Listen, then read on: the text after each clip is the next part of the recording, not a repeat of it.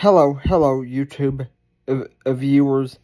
If you don't want to get closer to God, then you're not going to want to watch this video. Listen, for months now, I forget when these problems started, but for a long time, longer than I can remember, I've been having problems with my favorite game, The Sims 4.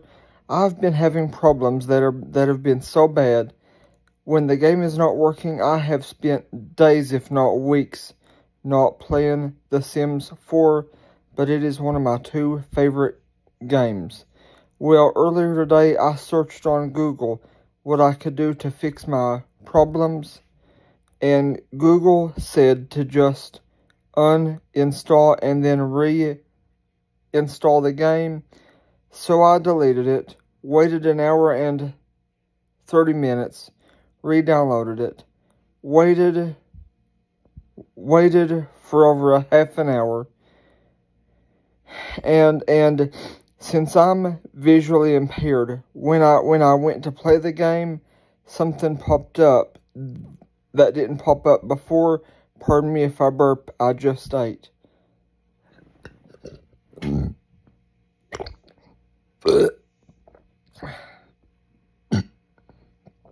And and also, when I was waiting for the game to reinstall, since it took over a half an hour, I was kind of thinking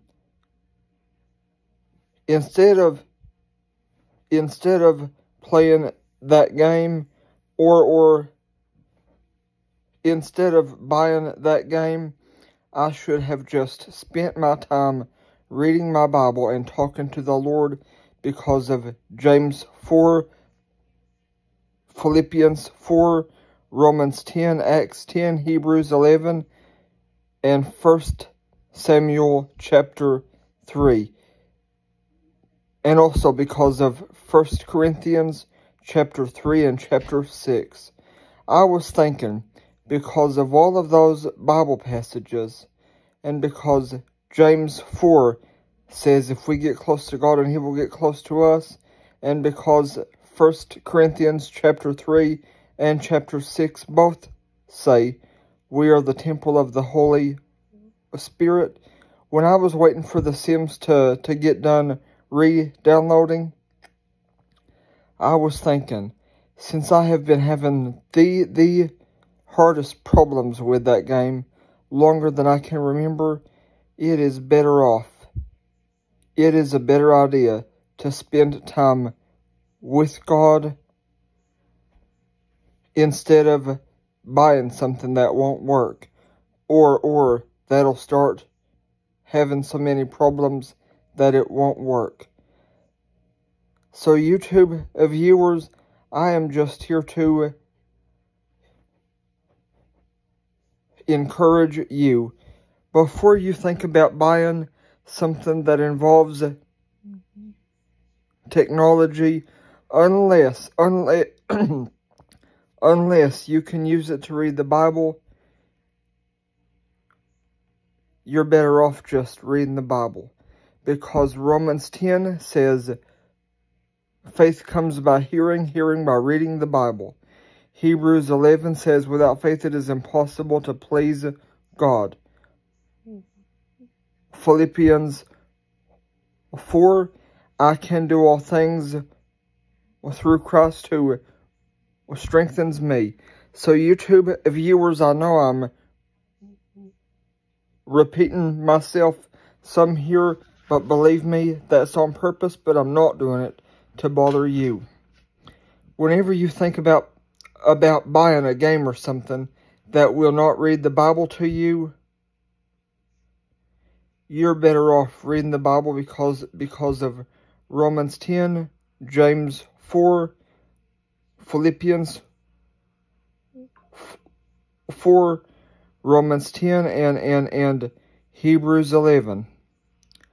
Because John 3.16 says, For God so loved the world that he gave his only begotten Son, that whosoever would believe on him should not perish, but have everlasting life. And since and since Romans 10 says, faith comes by hearing, hearing by reading the Bible. Instead of buying something involving technology that won't read the Bible to you, since there's always a chance of it of it not working for a long time or or for some unknown reason, you're better off using technology that will read the Bible for you. Or you're better off buying a buying a paperback of the Bible and just and just spending your time reading the Bible. But I only recommend reading the Bible when you can make sure that people will leave you alone and when you can make sure people are unable to contact you or bother you. I only recommend time with God when you can avoid discourage and prevent interruptions. YouTube viewers, I waited over an hour and a half before I re-downloaded The Sims 4, and it took at least 45 minutes to reinstall and re-download. So I'm just here to reassure you, time with God is much, much better than, than using technology that won't read the Bible for you. If this helps you uh, get closer to God, please leave a comment, like, share, and subscribe.